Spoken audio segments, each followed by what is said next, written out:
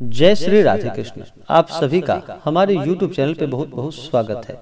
आइए सुनते हैं कार्तिक शुक्ल पक्ष में पड़ रहा प्रदोष व्रत। जो कि मंगल प्रदोष व्रत है। तो आइए आज सुनेंगे मंगल प्रदोष व्रत की कथा। प्रदोष के व्रत में भगवान शिव माता पार्वती और भगवान शिव के रुद्र अवतार भगवान हनुमान का पूजन किया जाता है।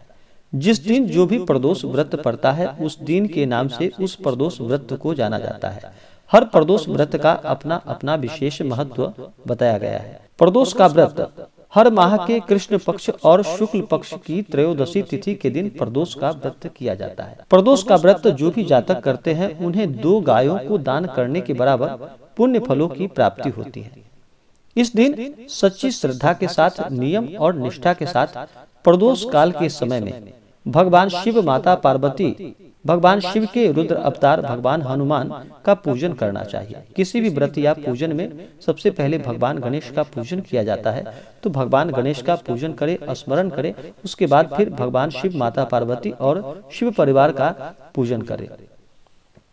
प्रदोष का व्रत यह सभी प्रकार के पापों को नष्ट करने वाला और सभी प्रकार के सुख समृद्धि को प्रदान करने वाला है। किसी व्रत का तभी फल प्राप्त हो पाता है अगर व्रत सच्ची श्रद्धा के साथ नियम और निष्ठा के साथ किया गया। किसी भी व्रत में मनुष्य को क्रोध नहीं करना चाहिए। अपने मन में किसी के प्रति ईर्षा या द्वेष का भाव नहीं लाना चाहिए। अपने से बड़ों का सदा ही आदर और सम्मान करना चाहिए।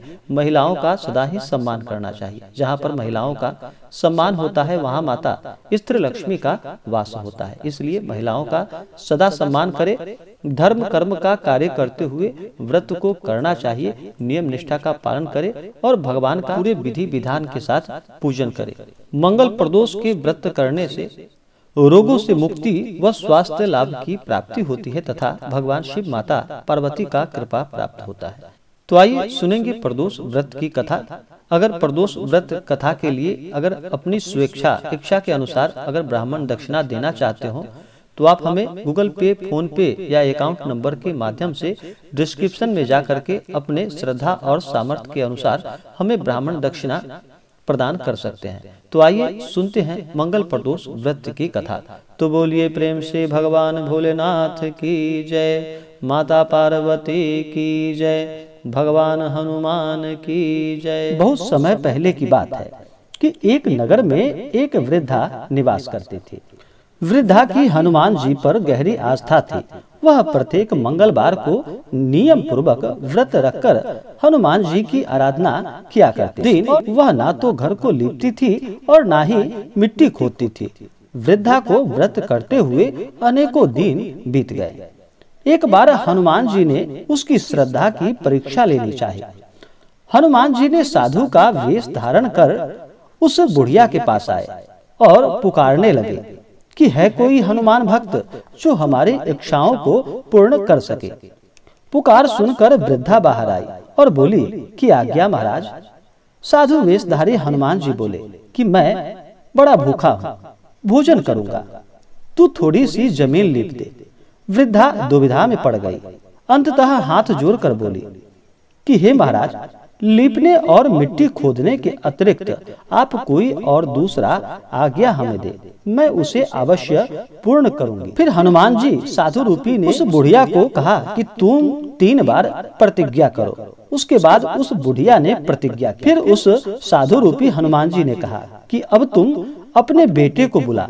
मैं उसकी पीठ पर आग जलाकर भोजन बनाऊँगा। अब तो वृद्धा के पैरों तले धरती मानो खिसक सी गई। परंतु वह प्रतिज्ञाबद्ध थी। उसने मंगलिया को बुलाकर साधु के सुपुर्द कर दिया। मगर साधु रूपी हनुमान जी ऐसे ही मानने वाले नहीं थे। उन्होंने वृद्धा के हाथों ही मंगलिया को पेट के बल लिटवाया और उसकी पीठ पर आग जलवाई। आग जलाकर दुखी मन से वृद्धा अपने घर के अंदर को चली गई। इधर भोजन बनाकर साधु ने वृद्धा को बुलाकर कहा कि अब तुम मंगलिया को पुकारो। ताकि वह भी आकर भोजन ग्रहण करे। इस पर वृद्धा अपने बहते आंसुओं को पोछ कर बोली कि हे महाराज अब उसका नाम लेकर मुझे ज़्यादा कष्ट ना पहुंचाओ। लेकिन जब साधु महाराज नहीं माने तो वृद्धा ने आखिरकार मंगलिया को आवाज़ लगाई और उस बुढ़िया के आवाज़ लगाते ही बुढ़िया के पुकारते ही उधर से मंगलिया दौड़ा दौड़ा आ पहुँचा। मंगलिया को देखकर वृद्धा को आश्चर्य हुआ।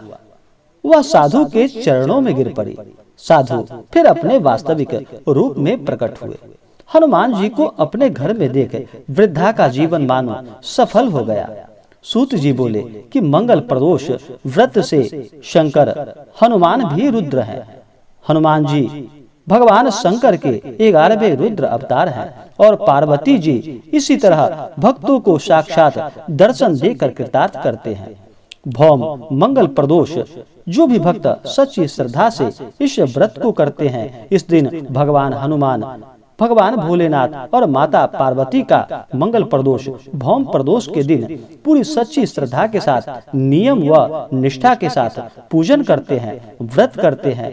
उनके सभी प्रकार के दुखों का अंत होता है। उनके सभी ताप और पाप नष्ट होते हैं तथा सभी प्रकार के सुख और समृद्धि की प्राप्ति होती है। जो भी प्रदोष का व्रत करते हैं प्रदोष व्रत करने वाले जातक। इस दिन सुबह प्रदोष व्रत के दिन ब्रह्म मुहूर्त में उठ करके अपने सभी नित्य क्रियाओं से निवृत्त होकर के गंगा नदी में या घर के जल में ही थोड़ा सा गंगा जल मिला करके स्नान करना चाहिए। शुद्ध वस्त्र धारण करके भगवान सूर्य देव को अर्घ देने के बाद फिर मन में संकल्प लेना चाहिए। व्रत करने जा रहा हूँ। या करने जा रहे हैं। इस प्रकार से मन में संकल्प लेना चाहिए और भगवान से प्रार्थना करनी चाहिए कि हे भगवान, हे नीलकंठ महादेव, आप तो परम ज्ञानी हैं, सभी प्रकार के सुखों को प्रदान करने वाले हैं तथा सभी प्रकार के दुखों का अंत करने वाले हैं। हे प्रभु, आप हमारा दुख हरो।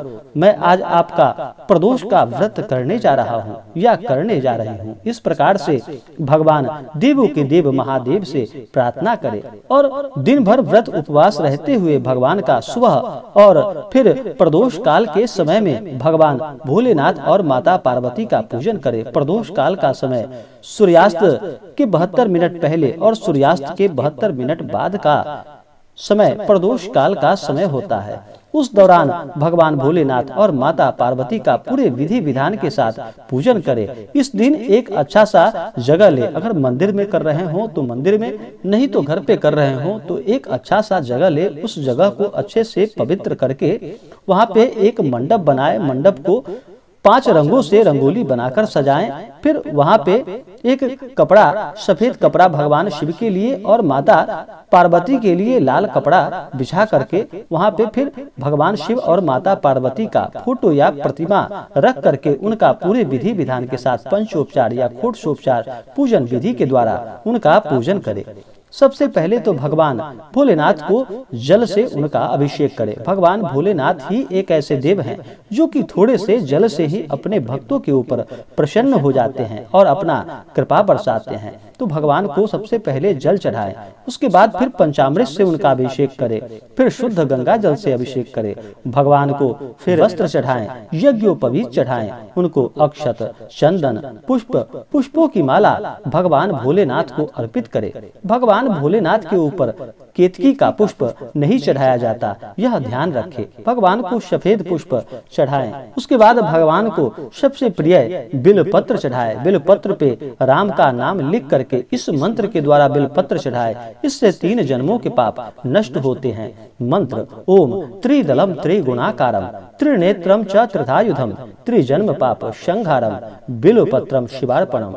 इस मंत्र के द्वारा भगवान भोलेनाथ को बिलपत्र अर्पित करे। फिर उनके ऊपर भाँग, धथुरा शिव पत्र आदि चढ़ाए। उसके बाद भगवान को धूप और दीप दिखाए। अनेक प्रकार का नैवेद्य भगवान को अर्पित करे। नैवेद्य के बाद भगवान भोलेनाथ को जल चढ़ाए। क्योंकि किसी को भी भोजन अगर दिया जाता है, भोजन के बाद जल अवश्य ही दिया जाता है। इसलिए भगवान को नैवेद्य चढ़ाने के बाद जल चढ़ाए। उसके बाद द्रव्य और दक्षिणा चढ़ाए। पुंगी फल तांबूल भगवान को अर्पित करे। इसी प्रकार से माता पार्वती का भी पूजन करे। इसी प्रकार से हनुमान जी तथा भगवान भोलेनाथ के शिव परिवार का पूजन करे और फिर मंगल प्रदोष व्रत का कथा श्रवण करे। उसके बाद फिर पूरे विधि विधान के साथ भगवान की आरती करे। इसी प्रकार से पूजन करते हुए अगले दिन जा करके फिर सुबह उठ करके स्नान करके शुद्ध वस्त्र धारण करके भगवान का एक समय पूजन करे और फिर ब्राह्मणों को दान और दक्षिणा प्रदान करे।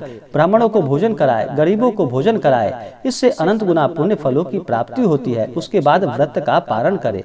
प्रदोष के व्रत का पारण अगले दिन सूर्योदय के बाद आप प्रदोष व्रत का पारण कर सकते हैं। तो आशा करता हूँ कि यह जानकारी आपको अच्छा लगा हो। ऐसे ही ज्ञानवर्धक जानकारियाँ प्राप्त करने के लिए हमारे चैनल को लाल बटन दबा करके सब्सक्राइब करें, साथ में बेल आइकन घंटी दबाएँ, ताकि मेरे वीडियो का नोटिफिकेशन आपके पास सबसे पहले पहुँचे।